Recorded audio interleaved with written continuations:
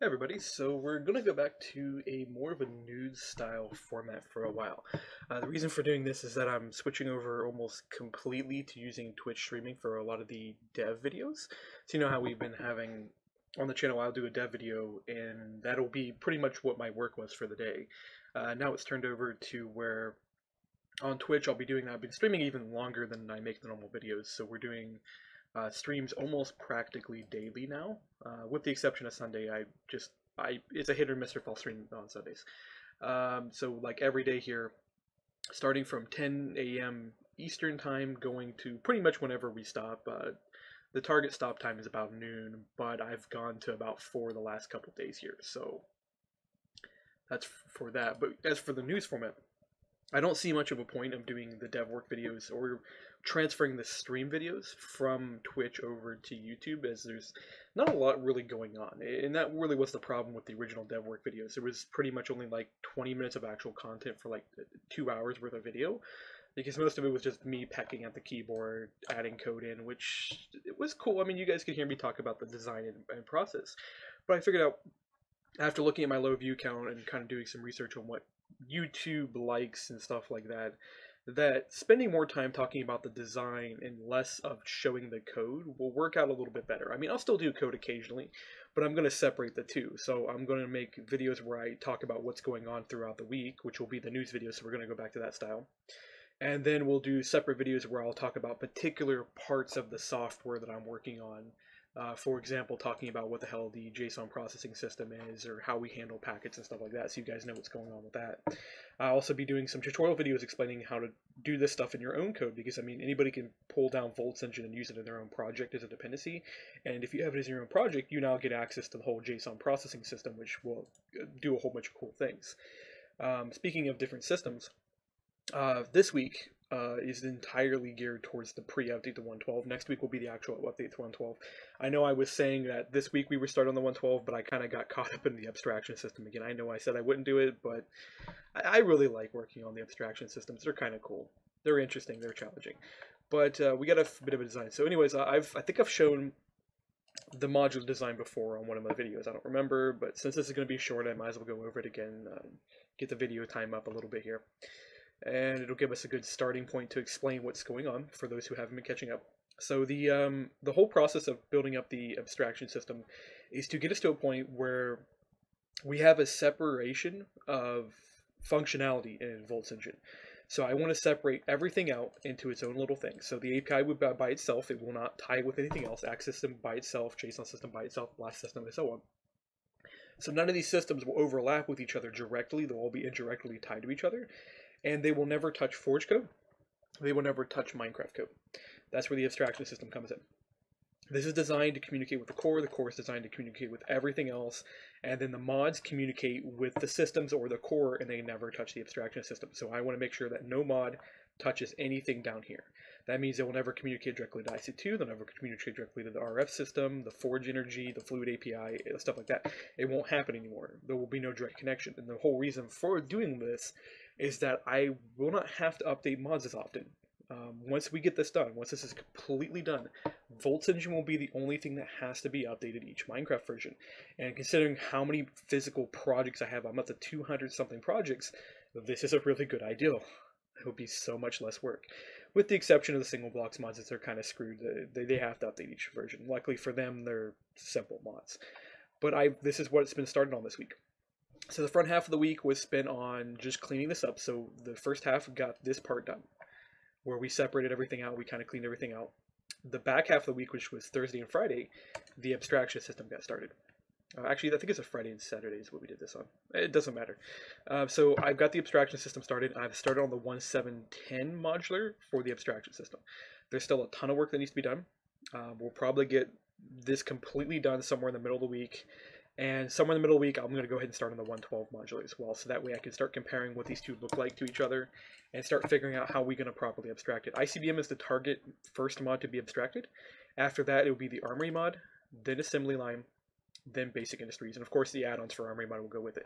The cool thing about the add-ons for Armory mod is they are pretty much non-Minecraft dependent as it is. Uh, they only have a single mod class to load them.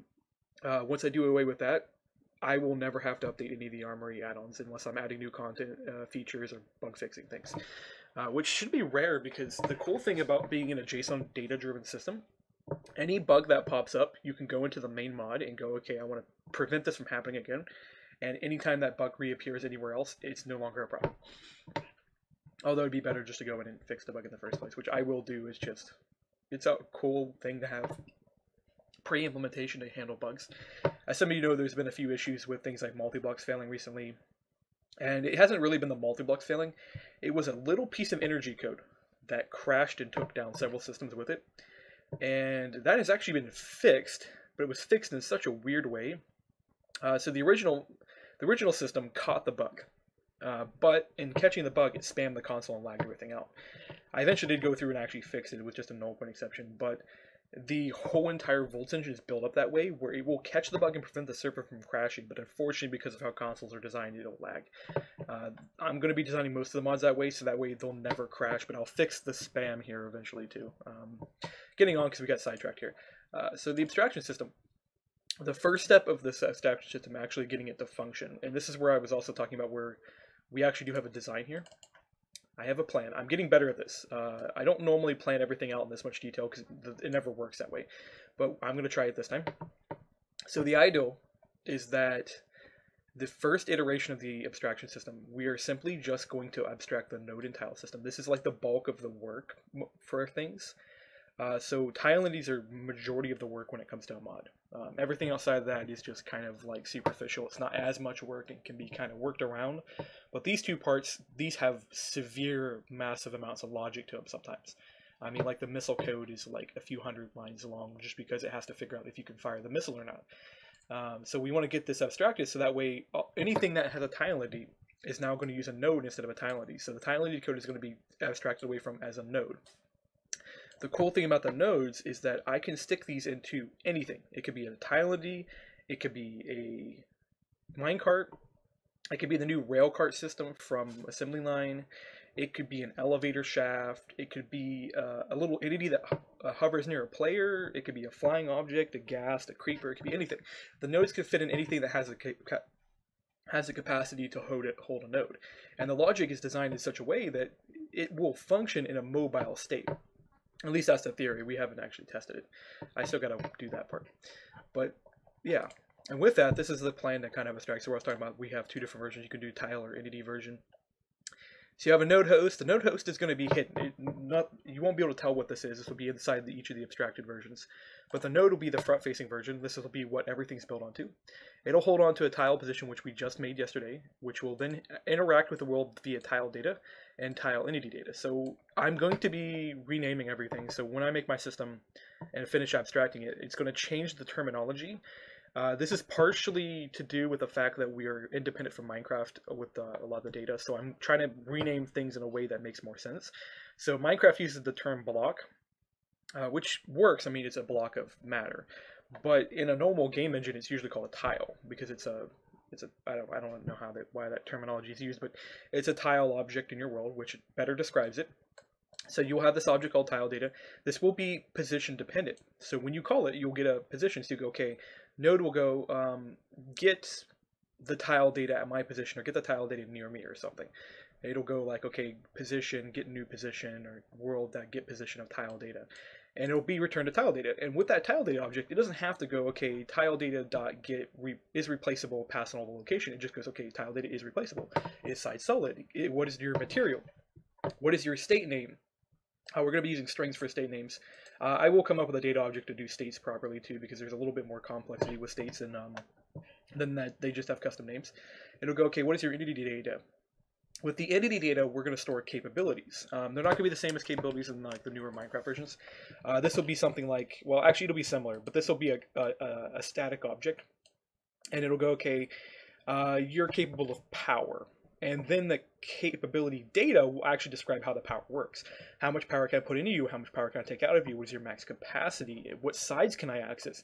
This there'll be a global info for this, and there'll be a local data. So global info will describe okay, what can all of your tiles do, not just one tile, all of them. And then the local will go, okay, this is what this exact tile can do. This will be stat. This will be catched for that tile as long as it exists. As soon as it breaks, of course, it'll go away. But this will give us a ton of information, and because it's encapsulated and wrappered, uh, we get uh, a ton of like functionality uh, bonus and benefit out of it. Uh, moving on here, we have I think one more drawing. This one I think is crap though. If I remember making it, I made this on the stream yesterday. Fortunately, I also got a dog that's whining at me for attention, so I have to cut this short. So this is kind of how the uh, abstraction system is actually going to work. So we'll have the engine. The engine is not going to go away. So we'll have a main engine class. It'll hold on to a mod instance, which will be the, these guys. So there'll be a different mod loader per version. And there's plans to actually make this work so that way we can ship with every version of Minecraft. So every version we support will be built into VoltzEngine at some point in time. It's not going to happen with the first version. It will happen eventually. So when you load VoltzEngine, there'll only be one VoltzEngine you'll have to download for all versions, one Volt version of ICBM you'll download for all versions. And it will be inserted in, and there'll be a piece of code that'll go, okay, I'm sitting in a 1.7.10 environment, so therefore it'll pick this version to load, which then will load this version of the wrapper. Uh, the wrapper will handle all the calls. So when you go to the engine, the engine will go, uh, get my get the Minecraft interface, it'll go to the Minecraft interface. Okay, give me the world, and it'll call this guy, and it'll go, okay, give me the world. And this guy will pass back a world instance to this, which will pass it back to, say, ICB because ICB wanted to know what the world is. It'll do the same thing for entities, materials, uh, blocks, items, tiles, anything that needs to be wrappered will go from the engine. So you go engine, uh, get Minecraft interface, uh, get me the object, and it'll go back and forth in a wrapper and a capsule and everything. This will essentially separate everything out because then we can make a new wrapper per version and I don't even have to make the wrapper myself. So if someone comes along and they go, you know what, I want to play ICBM in 164 Minecraft, all they have to do is write the wrapper and the mod loader and put it inside Voltz Engine and it will function. As long as they also give you all the data. You'll have to, when, you, when I'm talking about this wrapper, by the way, it won't be the only object you'll have to do. You'll have to port over like the JSON loaders. You'll have to port over some of the uh, there'd be a lot of code that needs to be moved around because you can't just do one version of the next easily. uh, the main, uh, if I can clear my throat real quick. So the main thing that will actually have to be transferred between each version is the item block and tile entity wrapper and the entity wrapper. So you have like four objects that have to be transferred. Uh, with those four objects, you pretty much do most of the work. Uh, the JSON stuff, I can probably abstract it in such a way that I fix any of the stupidity with it. Right now, a lot of the JSON stuff does depend on the block wrapper object. Uh, so if we can get that separated out, then you won't have to port that between each version, which will be amazing. Uh, there's a lot of things I have to work on. Um, this is where we're, if I can point at the code here. So templates have to be ported, right? We have to basically port a lot of things. So there's abstraction where we have to make an entity data object per version. Uh, this is what actually wrappers all the calls. Uh, it probably won't need much work for that. That probably won't change much per version. Uh, tile data, tile materials. But here's the Minecraft wrapper. It's actually what it looks like. Uh, some of this stuff will probably be changed, but you'll be catching a lot of stuff in here, and you'll be just wrapping it. So if they go, okay, get tile material by name, you'll get the name. If you go get tile for material, it'll make a material. If it actually contains the material, return the material. Right now, I'm trying to register all the materials so that way these are actually used for the JSON system, not just for this. That's the reason why there actually is a string method, is the JSON system will go, okay, I want to be of material grass, and it'll go, okay, what the hell is grass, and it'll, return it grass material. Um, entity data, etc., etc. There's a lot of work that still needs to be done. But it's the frameworks down here is what the part's going to take a lot of work here is that we have the Thailand wrapper that has to be ported. This is a prefab for all of the templates. So if this changes, these templates down here have to get updated too. Uh, and there's item templates and there's tile templates. Uh, since most people don't know what the template system is, these are uh, used by an automatic code generation system to mix and match these together to form something. So if I want to make a tile that has a tank in it, has an energy, has an inventory, it'll go, okay, here's the tank, here's the uh, inventory, here's the energy, and it'll combine those three together and output a new tile wrapper for your object. Uh, we're doing it this way versus other ways, etc., etc. Um, anyways, I will make another video about this later, talking in more detail about this, but I'm going to end this now because apparently I have a dog who doesn't understand that when I record, I'm trying to record. And uh, if for, for some of those who've watched me stream, she I think it was a Tuesday stream. She did this to me like every ten minutes. But uh, yeah, I'll see you guys later.